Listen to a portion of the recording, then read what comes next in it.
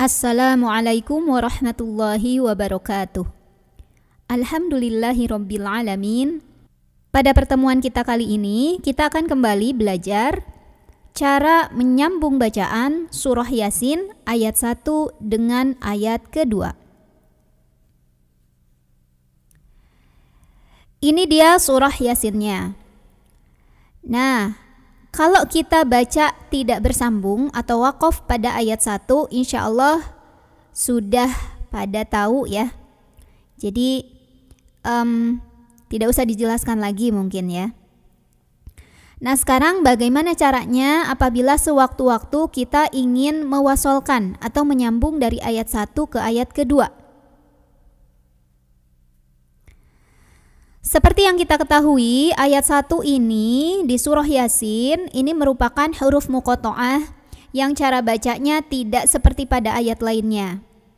Jadi ayat 1 ini dibaca dengan mengeja nama hurufnya. Jadi yang kita baca adalah asma hurufnya, nama hurufnya.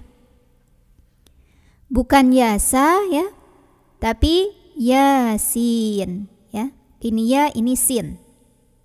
Oke, kita urai ke atas.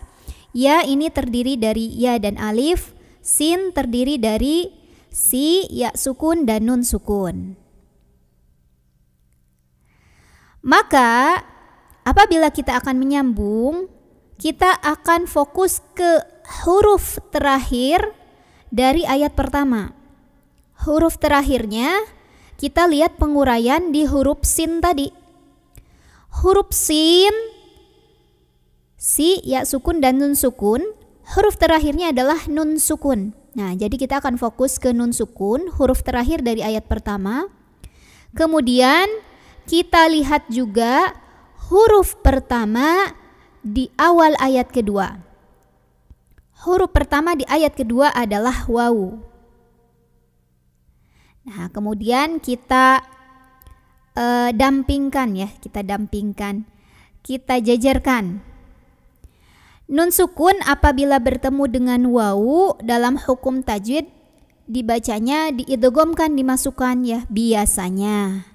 Tetapi pada saat menyambungkan surah ini ayat 1 dengan ayat 2 maka dibacanya tidak diidghamkan seperti pada nun yang bertemu dengan wawu pada ayat yang lainnya.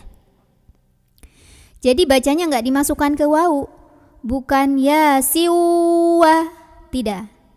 Melainkan nun sukun pada huruf sin pada ayat pertama tetap dibaca idhar. Idhar itu apa? Jelas. Jadi nun sukun tetap dibaca jelas. Begitupun dengan waw, tidak usah diidghamkan. Nah, lalu bagaimana dengan huruf sin? Huruf sin dibaca seperti biasa pada mad lazim ini ada tanda alis dibaca 6 harokat. Jadi tetap mad lazim, bacanya tetap 6 harokat. Ya-nya tentu tetap 2 harokat.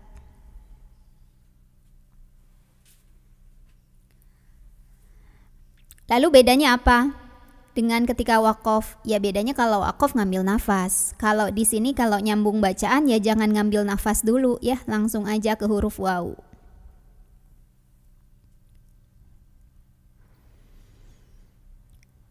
أعوذ بالله من الشيطان الرجيم.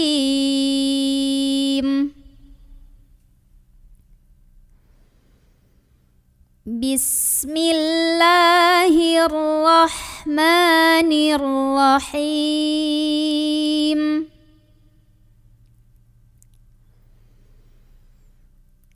ياسين. والقرآن الحكيم Coba lagi Yasin wal Qur'anil Hakim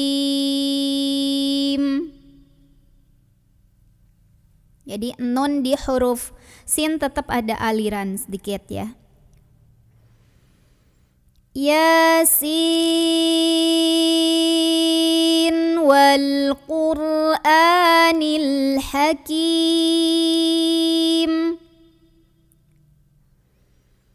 ياسين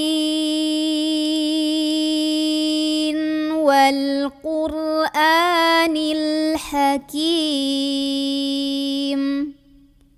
صدق الله العظيم. Alhamdulillahirabbil alamin. Sekian saja untuk pertemuan kita kali ini. Untuk kekurangannya mohon dimaafkan, silakan dikoreksi di kolom komentar video ini.